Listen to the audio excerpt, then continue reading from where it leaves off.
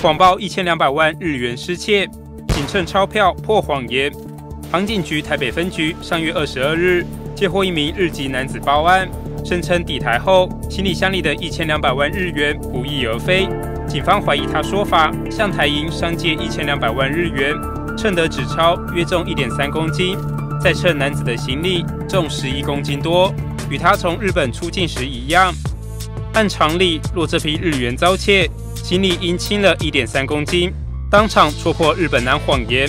男子傻眼，赶紧改口说误会后离去。